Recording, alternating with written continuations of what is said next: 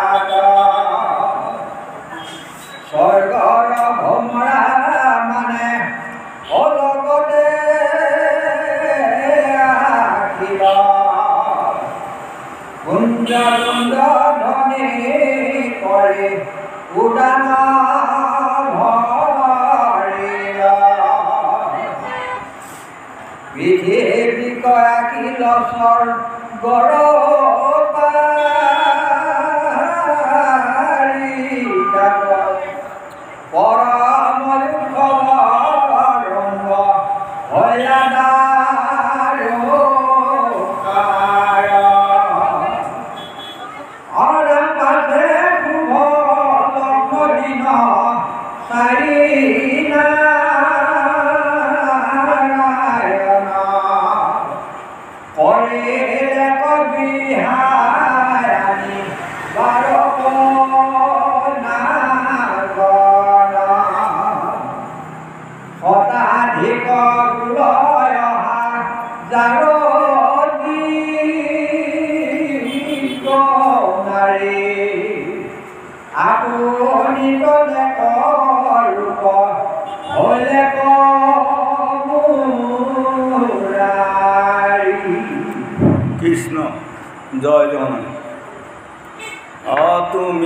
শংকৰ গুৰু অভকতৰ কল্পতৰু। জানি মই পখিলো শৰণে।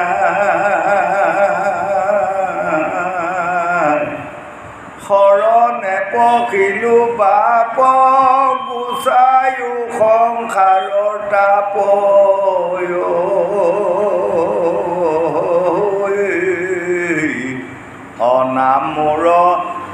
নচাৰো অনা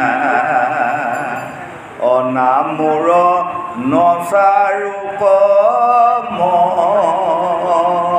অনা জয় জয়তে আজি আমাৰ মৰিগাঁও জিলাৰ শ্ৰী শ্ৰী কৃষ্ণ মন্দিৰত মহাভাগৱত অনুষ্ঠানত সমবেত হোৱা সাধু গুৰু বৈষ্ণৱ ভকত ভকতনী যুৱক যুৱতী শিশু শিশুৰী সবাৰ উপাধলি আমাৰ অধমৰ মাথা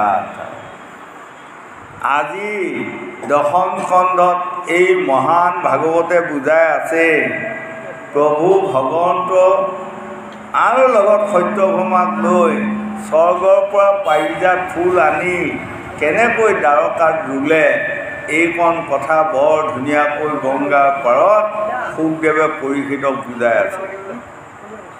আৰু লগতে আমাক পৰীক্ষিতৰ প্ৰশ্নত সুখদেৱে উত্তৰ দি আছে যে ৰজা তুমি চিন্তা নকৰিবা।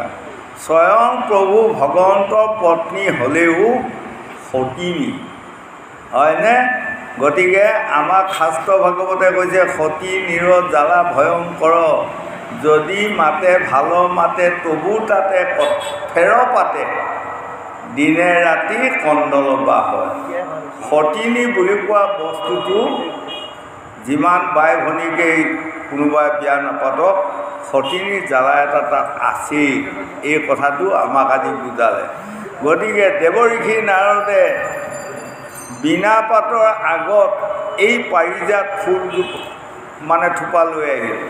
লৈ আহি প্ৰভু ভগৱন্তক অৰ্পণ কৰিলে। আৰু প্ৰভু ভগৱন্তে এইকণ কথা। তেওঁ চিন্তা কৰি নাচালে মোৰ কেইবাগৰাকীও পত্নী আঠগৰাকী পত্নী অকল এগৰাকীক দিলে যে কোনোবা দুগৰাকীয়ে দুখ পাব বেয়া বা বেয়া পাব এই কথাটো চিন্তা নকৰি তেওঁ ৰুক্মিণীক দিয়া হ'ল। ৰুক্মিণীক দিয়াৰ লগে লগে সত্যভমাৰ হুলস্থুলত পৰিৱেশ হ'ল আৰু তেওঁ দিনে ৰাতিয়ে বাগৰি বাগৰি কান্দি থকা হ'ল। মানে ভাত বা খোৱা বোৱা বয় বস্তু সকলো ত্যাগ দিয়া হ'ল। হয়নে? গতিকে এয়াই হ'ল সতিনীৰ জ্বালা। সেইটোতে আমাক বুজালে সেই পুৰুষসকল পৰাপক্ষত আপোনাসকলে সকলোৱে চিন্তা কৰিব। সতিনী বুলি কোৱা বস্তুটো ঘৰত চপাই লোৱা মানে জামালা। হয়নে? সেইকাৰণে মন কৰিব। আব্দুল কালামৰ বাণীৰ গ্ৰন্থখনত লিখিছে এজন মানুহে এজন মানুহৰ মহাশত্ৰু এতিয়া তেওঁক মাৰি পেলাব লাগে। এতিয়া মাৰি পেলালেতো পাপ হ'ব। বা মাৰি পেলোৱা গম পালেওতো ক'ৰবাত জেল জৰিমনা হৈ যাব। গতিকে হেৰা তুমি তেওঁ মাৰা বা কিবা এটা বেয়া বুদ্ধি নকৰি তেওঁৰ লগত ভাল হোৱাৰ যত্ন কৰা। ভাল হোৱাৰ যত্ন কৰিবলৈ পাৰা যদি আৰু এগৰাকী পত্নী তাক বিয়া কৰোৱাই দিয়া তেনেহ'লে তুমি ঘৰতে বহি ৰং চাই থকা তেওঁক দুৰ্গতিক কেনে ধৰণৰ কিমান নোহোৱা হয়নে? আজি সেইটো আজি স্বয়ং প্ৰভু কৃষ্ণৰ আজি মহিষীসকলৰ ভিতৰতো আমাক দেখুৱালে সতিনীৰ যে এইটো অতি ভয়ংকৰ জ্বালা। প্ৰভু ভগৱন্ত আজি মানে সত্যভমাৰ ওচৰত সেৱ মানিবলগীয়া বাধ্য হ'ল। আৰু ক'লে তুমি চিন্তা নকৰিবা বোলা স্বৰ্গত যাই তোমাক পাৰিজাত ফুল আনি দিয়া হ'ব। তাৰমানে নিদিলেও ৰক্ষা নাই। প্ৰভু ভগৱন্ত পাহত গ'ল তেতিয়া সত্যভমাৰ লগত লৈ স্বৰ্গৰ পৰা পাৰিজাত হৰণ কৰি লৈ আহিল। আৰু সেই হৰণ কৰিব যাওঁতে কি হ'ল? প্ৰভু ভগৱন্ত কৃষ্ণৰ লগত ইন্দ্ৰই আহি যুদ্ধ পাতি ল'লে। আৰু সেইখন যুদ্ধ চৌবিছ ঘণ্টা একেৰাহে যুদ্ধ হ'ল। যুদ্ধত যেনিবা ইন্দ্ৰ পৰাজয় বৰণ কৰিলে কিন্তু এতিয়া মন কৰক পত্নীৰ কথাত গৈ আজি কিমানখন ডাঙৰ যুদ্ধত পৰিল। যদি সেইখন যুদ্ধত হাৰি যোৱা হয় গোটেই জীৱনটোত কিমান লজ্জা আহিলে হয়। হয় সেইকাৰণে আমাৰ জ্যোতিষ শাস্ত্ৰত ভিগু আদি বাৰমণিসকলে লিখিছে যে ৰজাৰ দণ্ডত কাটা যায় তি দণ্ডত পইতা ভাত খায়। হয়নে? যিসকলে তিৰি দণ্ড পাব তেওঁক গৰম ভাত পাহৰি যাব লাগিব। পইতা ভাত খাওঁতে জন্ম যাব। আৰু ৰজাৰ দণ্ড সেইকাৰণে আমাক বুজাইছে সেই লোকসকল আপোনালোকে ৰাজদণ্ড বা ৰাজ ৰাজ ৰজাৰ দুখত নপৰিবা। ৰজাৰ দুখটো বৰ বেলেগ বা বেয়া দুখ। গতিকে আমাৰ সমজুৱা দুখত পৰিলে আমি ক্ষমা ভিক্ষা মাগিলে ক্ষমা পাওঁ কিন্তু ৰজাৰ দুখত আমি ক্ষমা নাপাওঁ। এইকণ কথা আজি বুজাই আছে। গতিকে এই পাৰিজাত ফুল ইন্দ্ৰক যিনি স্বৰ্গৰ পৰা আনি মানে আজি দ্বাৰকা নগৰত পাৰিজাত ৰোৱা হ'ল। আৰু লগতে আমাক আজি ভাগৱতে দেখুৱাইছে স্বৰ্গৰ যিমান ভোমোৰা আছিল সেই পাৰিজাতৰ গোন্ধত আজি দ্বাৰকা নগৰ পালে। গতিকে আমাক কৈ যে মন কৰিবচোন। এজন মানুহক যদি কোনোবাই দায়িত্ব দিয়ে কালিলৈ তুমি তিনিটামান ভোমোৰা ধৰি দিয়া। কিন্তু কিন্তু তিনিটা ভোমোৰা ধৰি দিব নোৱাৰিব। গতিকে আমাক বুজাইছে এই লোকসকল যদি আপোনাৰ দুৱাৰদলিত বা সন্মুখত আপুনি খুব সুগন্ধিযুক্ত ফুল কেইডালমান ৰুই তেনেহ'লে আপোনালোকে ভোমোৰাবোৰক আমন্ত্ৰণ কৰিবও নালাগে নিমন্ত্ৰণ কৰিবও নালাগে। এই ফুলৰ গোন্ধ পালেই ভোমোৰা সদায় আপোনাৰ গৃহত প্ৰৱেশ কৰিব। হয়নে? গতিকে এইটো আমাক তাত দেখুৱালে। আকৌ আমি যদি ডেৰ আগত চাওঁ তেনেহ'লে আমাক দেখুৱালে সেই লোকসকল তোমাৰ মনটো আৰু তোমাৰ দেহ প্ৰাণ আপুনি সুগন্ধি বনাব যত্ন কৰক হয়নে? যদি আপোনাৰ দেহটো সুগন্ধি ফুলৰ নিচিনা বনাব পাৰে সকলো লোকসকলে আপোনাক মৰম দয়া চেনেহ আদৰ সকলোৱে দেখুৱাব। আৰু যদি আপোনাৰ বাক্য বচনবোৰ কঠোৰ হয় বাক্য বচনবোৰ যদি মিঠা নোহোৱা হয় তেনেহ'লে তোমাক বা আপোনাক কোনেও খাতিৰ নকৰিব। গতিকে এক নম্বৰত আমি বাক্যটো মধুৰ হ'ব শিকিব লাগিব। হয়নে? সেইকাৰণে জ্যোতিষশাস্ত্ৰত আমাক লিখিছে বাৰ সাতটা বাৰত জন্ম লোৱাও একোটা একোটা তাৰ মানে কথা আছে বা প্ৰশ্ন আছে বা উত্তৰ আছে। যেনেকৈ দেওবাৰে জন্ম হোৱা ল'ৰা ছোৱালীবোৰ জ্যোতিষশাস্ত্ৰৰ মতেদি শিক্ষিত হয় সোমবাৰে জন্ম হোৱা লোকসকল শান্ত হয় মঙলবাৰে জন্ম হোৱা মানে কেঁচুৱাসকল ল'ৰাই হওক ছোৱালীয়ে হওক সাহসী হয় বুধবাৰে জন্ম হোৱা সতী সন্তানবোৰ গীত নৃত্য গীতত পাৰ্গত হয় বৃহস্পতিবাৰে জন্ম হোৱা সতী সন্তানবোৰ মধুৰ বাক্য হয় তেওঁলোকৰ মাত শুনাৰ লগে লগে মিঠা লাগে। আৰু শুক্ৰবাৰে জন্ম হোৱা সতী সন্তানবোৰ দীৰ্ঘজীৱী হয়। আৰু শনিবাৰে জন্ম হোৱা সতী সন্তানবোৰ বাৰৰ দুখ লাগে। গতিকে যদি আপোনাসকলৰ কোনোবা কেঁচুৱা বা সতী সন্তান শনিবাৰে জন্ম হোৱা আছেই তাৰ এটা প্ৰতিকাৰ কৰিব জ্যোতিষৰ মতে কি প্ৰতিকাৰ জানে? শনিবাৰৰ দিনা এটা জন্মান্ধ মানুহক এসাঁজ ভাত খুৱাই এটা বস্ত্ৰ আৰু এটা দক্ষিণা দান কৰিব। তেনেহ'লে জীৱন যুদ্ধত সি সদায় জয়ী হ'ব। আৰু যদি এইকণ প্ৰতিকাৰ নকৰে তেনেহ'লে তেওঁৰ জীৱন যুদ্ধত পৰাজয় হয় বুলি ভিগু আদি বামুণীসকলে জ্যোতিষশাস্ত্ৰত লিখা আছে। গতিকে এইখন কথা জ্যোতিষৰো মই আগবঢ়াই দিলোঁ। গতিকে আপোনাসকলে এই মহান ভাগৱত শুনি আমি চাৰি প্ৰকাৰে জ্ঞান আয়ত্ব কৰিব লাগিব। আমাৰ জ্ঞানে আদি মূল জ্ঞান নহ'লে জাই জাতি কুল আমি যদি শাস্ত্ৰ ভাগৱত শুনি সাধু জ্ঞানী মহন্ত বৈষ্ণৱ ভকত হ'ব পৰা যায় তেনেহ'লে আনৰো উপকাৰ হ'ব আৰু নিজেও উপকাৰ নিশ্চয় পাব। গতিকে পৰৰ উপকাৰ সাধন কৰিব যিসকলে বিচাৰি ফুৰে তেওঁৰ উপকাৰ প্ৰভু ভগৱন্তে নিজে কৰেই বুলি আমাক ভাগৱতে বুজাই আছে। গোবিন্দ।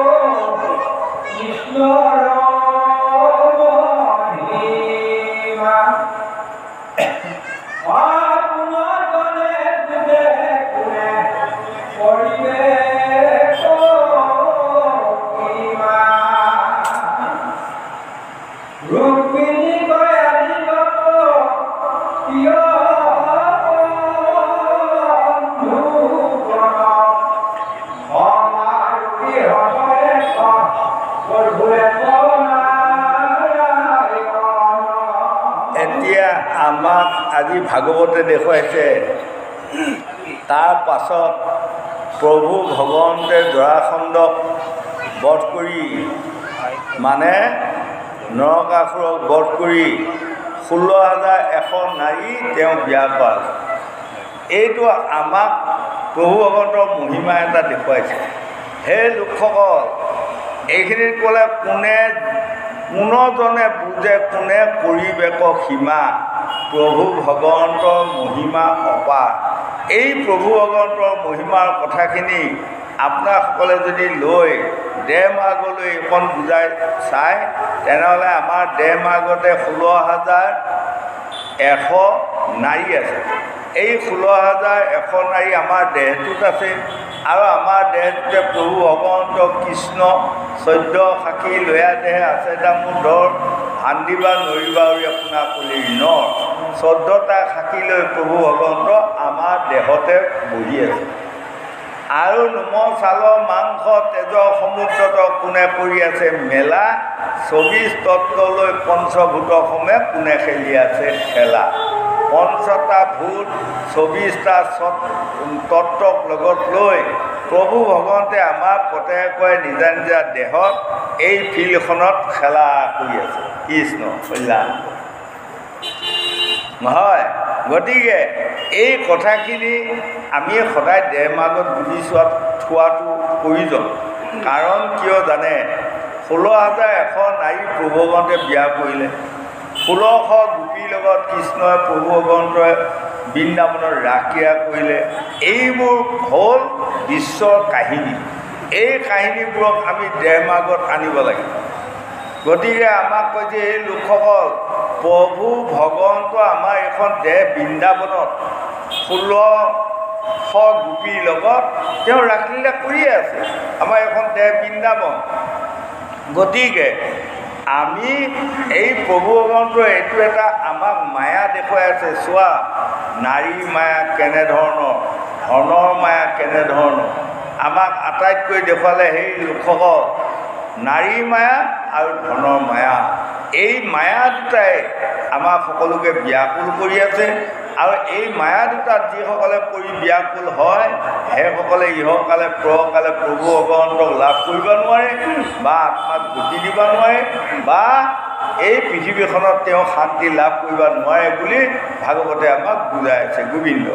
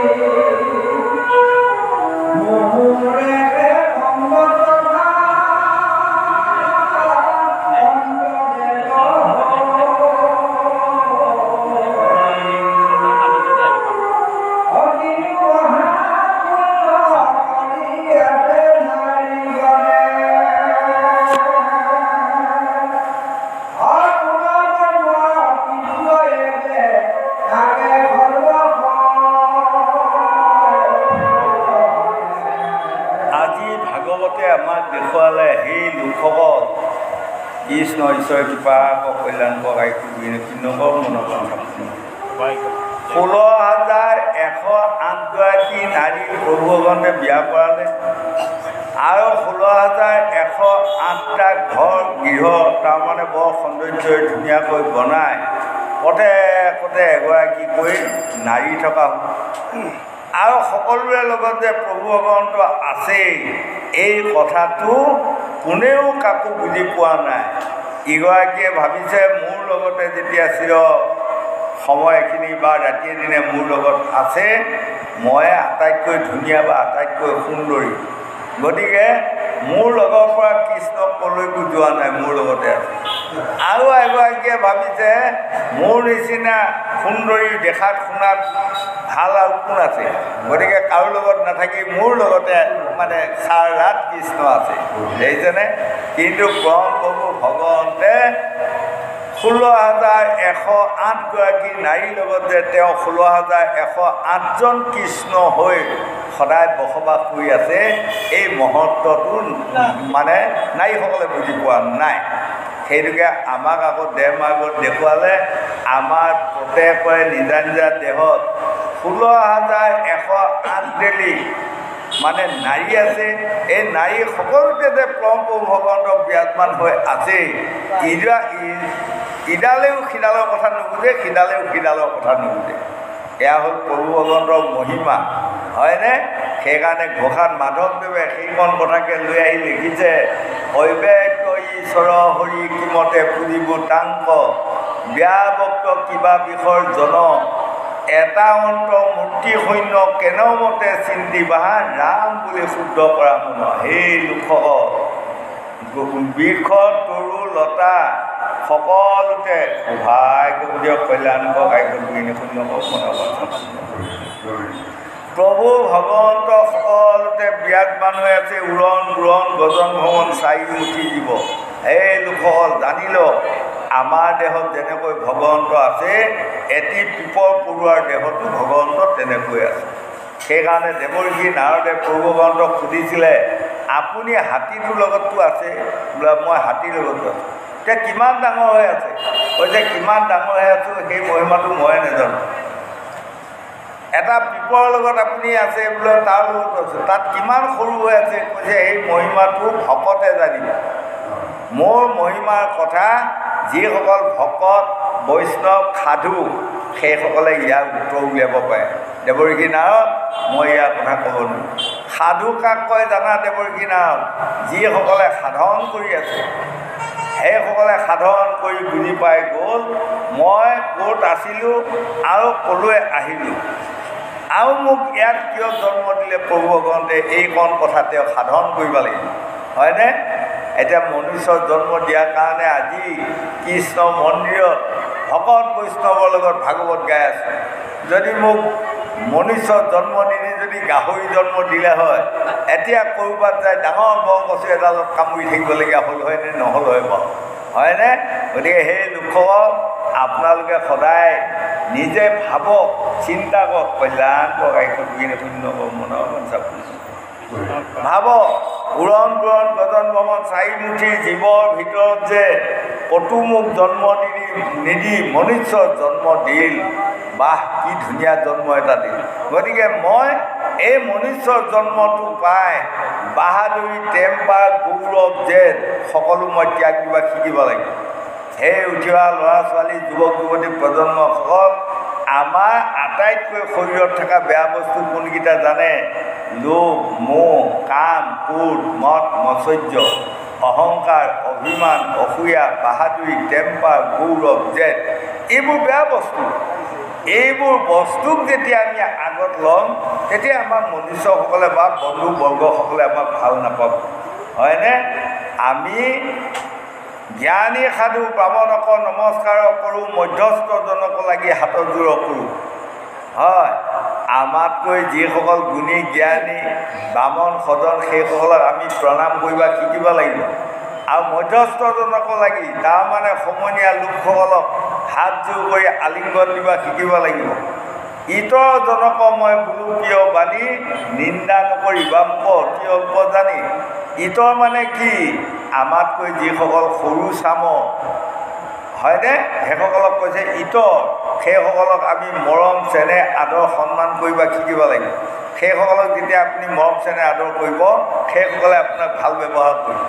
মন কৰিব কণ কণ ল'ৰা ছোৱালী কিছুমান উমলি থাওক আপুনি প্ৰমাণ কৰিবচোন। বৰ যদি বেয়া বেয়িকৈ দাবী ৰুবা দেই সিহঁতে ভয় খাব দৌৰি যাব কিন্তু আপোনাক নামানে আৰু। যদি আপুনি সকলোকে দেহা সোণ এনেধৰণৰ যদি ব্যৱহাৰ কৰে এই লৰাই লৰাই আহি আহি আপোনাক ককা ককা বুলি সেৱা কৰি দিম মই কিন্তু প্ৰমাণ পাইছোঁ। হয়নে? গতিকে আগৰ যুগত মন কৰিবচোন ডাঙৰ ডাঙৰ গাড়ীবোৰত এইবোৰ লেখেই আপোনাৰ ব্যৱহাৰে আপোনাৰ পৰিচয়। আজিকালি লেখেনে নেলেখে মই মন কৰা নাই যেনিবা বাৰু হয়নে? গতিকে নিজৰ পৰিচয় ব্যৱহাৰতে নিজৰ পৰিচয়। আপোনাৰ ব্যৱহাৰতে আপোনাক মানুহে সন্মান কৰিব আৰু আপোনাৰ ব্যৱহাৰতে আপোনাক মানুহে নিন্দা কৰিব বা বাসনা কৰিব। হয়নে? গতিকে আমি যাতে নিন্দা বাসনাত নকৰি আমি আনকো দুটি জ্ঞান বিলাব লাগিব। উঠি অহা যুৱক যুৱতী প্ৰজন্মসকলক আমি জ্ঞান দিব লাগিব। কাৰণ আমাৰ ভূত ভৱিষ্যত বৰ্তমান বুলি কোৱা তিনিটা বস্তু আছে। এতিয়া আমাৰ যিসকল লোক ষাঠি বছৰ পাৰ হ'ল আমাৰ এইসকল ভূত বুলি কোৱা হয়। আৰু যিসকল ল'ৰা ছোৱালী ডেকা গাভৰু বিয়া বাৰুত সোমাই আছে। বা বিয়া বাৰু কৰিবৰ কাৰণে আগবাঢ়ি আহিছে। সেইসকলক কৈছে বৰ্তমান। হয়নে? আৰু যিসকল কণ কণ ল'ৰা ছোৱালী দৌৰি ঢাপৰি আছে সেইসকল আমাৰ ভৱিষ্যত। সেইসকলক আমি দুটি জ্ঞান দি যদি থৈ যাওঁ আৰু এই যুৱক যুৱতীসকলক যদি আমি ভাল সতী সন্তান গুণী জ্ঞানী সাধু মহন্ত সতী সন্তান তোলাৰ উপদেশ বা জ্ঞান তত্ত্ব কিছুমান প্ৰদান কৰি থৈ যাওঁ তেনেহ'লে ভৱিষ্যতে আমাৰ সুনাম আমি অৰ্জন কৰিব পাৰিম। কাৰণ সেইসকলে যেতিয়া গুণী জ্ঞানী শিক্ষিত পণ্ডিত কিছুমান সতী সন্তান জন্ম দিব তেনেহ'লে এইখন অপবিত্ৰ পৃথিৱীকো এদিন পবিত্ৰ কৰিব পাৰিব। হয়নে? গাঁৱকো উন্নতি কৰিব পাৰিব দেশৰো উন্নতি কৰিব পাৰিব। আৰু যদি কেনিবাকৈ সেইসকলে কিছুমান নৰাধম মানে পাতকী সতী সন্তান তুলি থৈ যায় তেনেহ'লে এই দেশখন অকালতে ধ্বংস হ'ব। আৰু আমি মৰিও গতি নাপাম। ঘোষাত মাধৱদেৱে লেখা নাই। অঁ যাৰ পুত্ৰ হবে ঐত হৰিত শৰণ লয়া হৰি গুণ গাৱে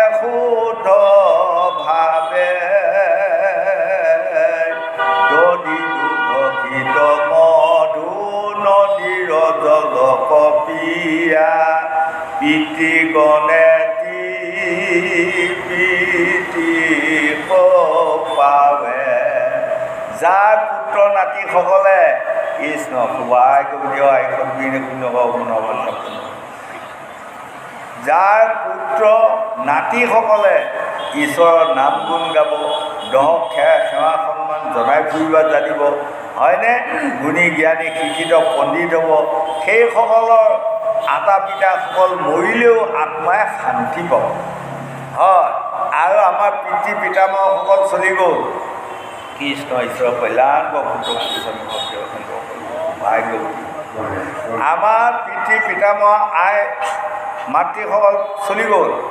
আমি যেতিয়া ভাল কাম কৰিম সেইসকলে তোৰ পৰা আমাক আশীৰ্বাদ কৰিম হয় আমি যদি কৰ্মহীন হৈ আমি ভাল কৰ্মহীন হওঁ ভাল কৰ্ম কৰিব নাজানো তেনেহ'লে মোৰ পিতৃ মাতৃসকলক যদি কৈ থকা যায় মোক আশীৰ্বাদ দিয়ক আশীৰ্বাদ দিয়ক দিব নেকি?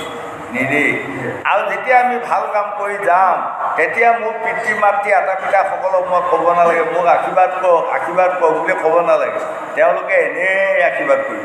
গতিকে উঠি অহা যুৱক যুৱতী প্ৰজন্ম হওক এইবোৰ কথা আপোনাৰসকলে কাণ বহি শুনক। শুনি আপোনাৰসকলে জ্ঞানী হওক শিক্ষিত হওক পণ্ডিত হওক আৰু যুৱক যুৱতীসকলে বিয়া বাৰু কৰি আপোনালোকে আলোচনা বিলোচনাই জ্ঞান তত্ত্ব বুজি গীতা ভাগৱতৰ বাক্যবোৰ মানি আপোনালোকে ধুনীয়া ধুনীয়া সাধু বৈষ্ণৱ ভকত সতী সন্তান তোলক পলাদৰ নিচিনা সতী সন্তান তুলিবাৰ যত্ন কৰক ধৈবৰ নিচিনা সতী সন্তান তুলিবাৰ যত্ন কৰক মায়াৱতী সাবিত্ৰী লীলাৱতী ভদ্ৰাৱতীৰ নিচিনা কন্যা কিছুমান তুলিবা যত্ন কৰক তেনেহ'লে দেশখন এদিন অপবিত্ৰ নাশ কৰি পবিত্ৰ কৰিব পাৰিব বুলি চাৰি বেদ চৈধ্য শাস্ত্ৰ ওঠৰ পুৰাণে আমাক বুজাই আছে। গোবিন্দ।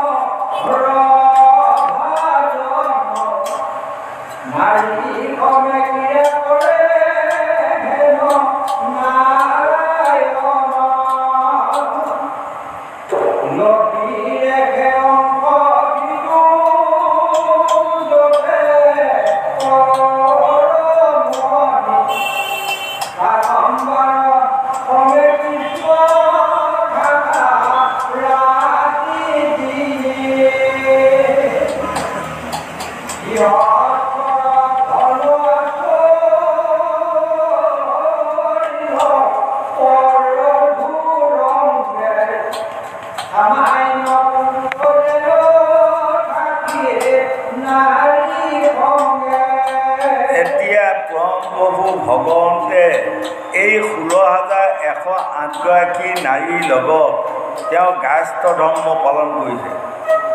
আমাৰ আশ্ৰম চাৰিখন সেই লোকৰ এখনৰ নাম হ'ল ব্ৰহ্মচাৰ্য এখনৰ নাম হ'ল গাহস্থ এখনৰ নাম হ'ল বানপ্ৰস্থ এখনৰ নাম সন্যাস এই চাৰিখন আশ্ৰমৰ ভিতৰত উত্তম আশ্ৰমখনৰ নাম হ'ল গায়স্থ সেইকাৰণে মহাপুৰুষ শংকৰদেৱে কীৰ্তনত লিখিছে গাহস্থ ধৰ্ম সমান কোনো ধৰ্ম নাই নিয়মে সংযমে মাত্ৰ থাকিবা সদায়। আজি প্ৰভু ভগৱন্তে এই গাহস্থ ধৰ্মৰ নীতি নিয়মখিনি দেখুৱাই আছে বা তেওঁ ঈশ্বৰ সেৱা কৰি আছে। কিন্তু গোবিন্দ গোবিন্দ গোবিন্দ গোবিন্দ গোবিন্দ ৰাম ৰাৰী অনন্ত কোটি ব্ৰহ্মাণ্ডৰ হৰি অধিকাৰী সেইজন অনন্ত কোটি ব্ৰহ্মাণ্ডৰ অধিকাৰী। আৰু তেওঁনো বাৰু আকৌ সেৱা পূজা কৰিব লাগেই নে? নালাগে নিয়মতে। কিন্তু নহয় তেওঁ আজি সেৱা পূজা কৰি যাগ যজ্ঞ সকলো কৰি আমাক দেখুৱাই থৈ গৈছে কাৰণ প্ৰভু ভগৱন্তে যদি এইখন দেখুৱাই থৈ নগ'লে হয় আজি আমাৰ মনুষ্যসকলে এইখন কৰা ক্ষমতা আমি নাপালোঁ। গতিকে আমাক এইকণ কথা দেখুৱাই দি গৈ আছে আৰু দেখুৱাই দি গৈ আছে লক্ষ্মী অংশে। সিটো যতে কৰ ৰমণি তাসম্বাৰ অসমে কৃষ্ণ থকা ৰাতি দিনেই তেওঁলোকে আজি প্ৰভু ভগৱন্ত কৃষ্ণক আজি স্বামী পালে। তেওঁলোক লক্ষী অংশত জন্ম আছে। সেইটোকে আমাক দেখুৱালে সেই লোকসকল আমাৰ নাৰীসকল আৰু যুৱকসকলে এইকণ কথা অকণমান চিন্তা কৰিছে সৰু কালতে এজনী ছোৱালী যদি গুণী জ্ঞানী শিক্ষিত পণ্ডিত হৈ যায় নিশ্চয় তেওঁ এটি গুণী জ্ঞানী শিক্ষিত পণ্ডিত স্বামী পাব। আৰু এজন ল'ৰা যদি গুণী জ্ঞানী শিক্ষিত হয় তেনেহ'লে তেওঁ এগৰাকী গুণী জ্ঞানী শিক্ষিত নাৰী তেওঁ পাব। তাৰ এটা প্ৰমাণ মই অকণমান আগুৱাই গ'লোঁ।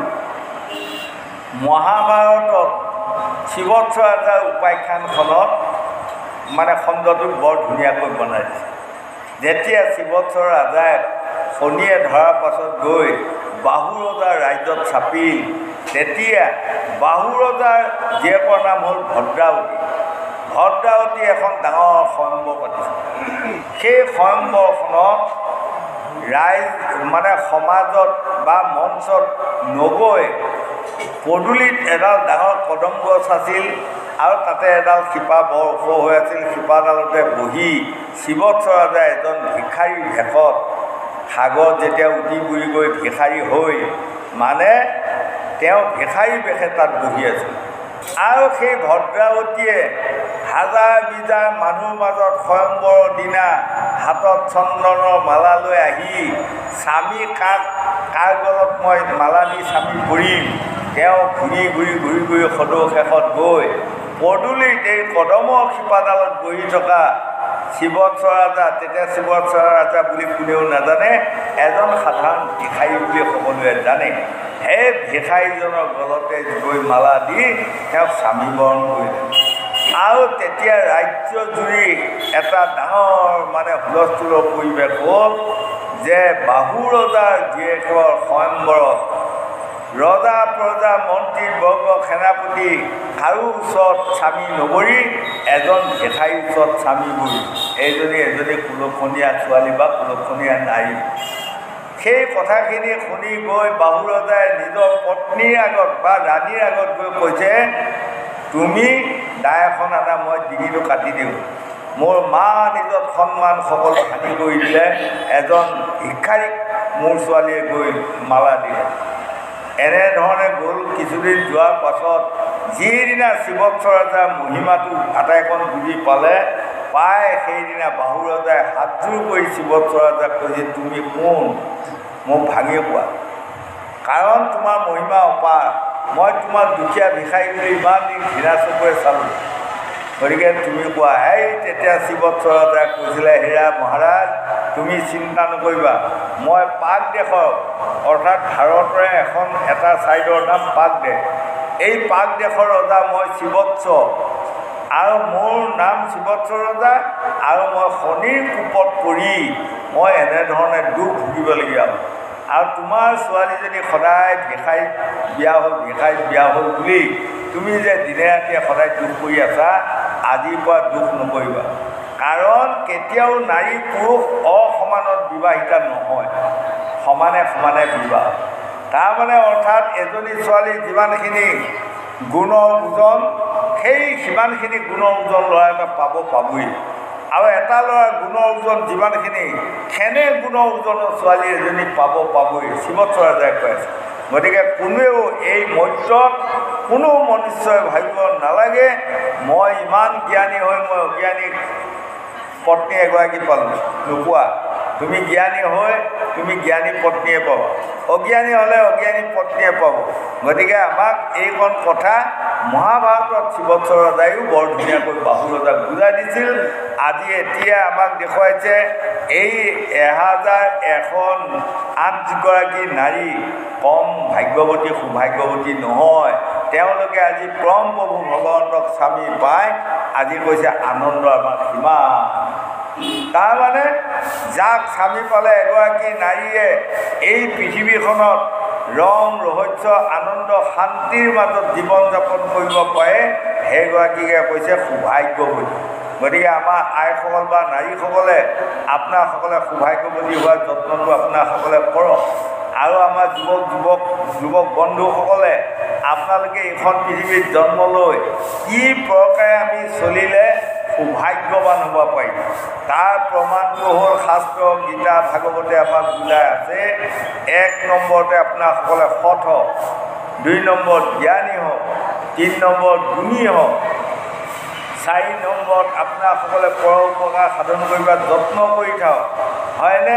পাঁচ নম্বৰত কাকো আপোনাৰসকলে অৱজ্ঞা নকৰিব কাকো নিন্দা নকৰিব। হয়নে কাকো ইটিকিং নকৰিব কাকো ইনচাল্ট নকৰিব? হয় এনেধৰণে আমি বাৰটা ভাল গুণ আমি যিদিনা ল'ব পাৰিম তেনেহ'লে সেই বাৰটা ভাল গুণৰ থকা ছোৱালী এজনী আপোনাৰ ওচৰত বিয়া সোমাবা আহিব আহিব। আৰু যদি এজনী ছোৱালীয়ে বাৰটা ভাল গুণৰ ব্যৱহাৰ চলি আছে তেনেহ'লে বাৰটা গুণৰ ভাল ল'ৰা এটা তেওঁৰ ওচৰলৈ যাব যাব যাব। ৰেহাই নাই। হয়নে? এইবোৰে হ'ল শাস্ত্ৰ ভাগৱতে আমাক বুজাই থকা কথা। গতিকে যুৱক যুৱতী প্ৰজন্মসকল আপোনালোকে পাৰিলে দুই এঘণ্টা সপ্তাহত হ'লেও ভাগৱত শুনক। শুনি আপোনালোকে যদি প্ৰত্যেকে নিজে জ্ঞানী হয় এই পৃথিৱীখনত জ্ঞানে আদি মূল জ্ঞান নহ'লে যাই জাতি কুল তেনেহ'লে আপোনালোকে বুকু ভিন্দাই ক'ব পাৰিব এইখন পৃথিৱীত মই সুখ আৰু শান্তি পাম। আৰু যদি ঠগ প্ৰবঞ্চনা লুচা পাজি তেনেধৰণে বেয়া কৰ্মত আমি মজি থকা হয় তেনেহ'লে আমি শান্তি দোকান এখন ক'ত আছে বিচাৰি উলিয়াব নোৱাৰিম বুলি শাস্ত্ৰ ভাগৱতে আমাক বুজাই আছে গোবিন্দ।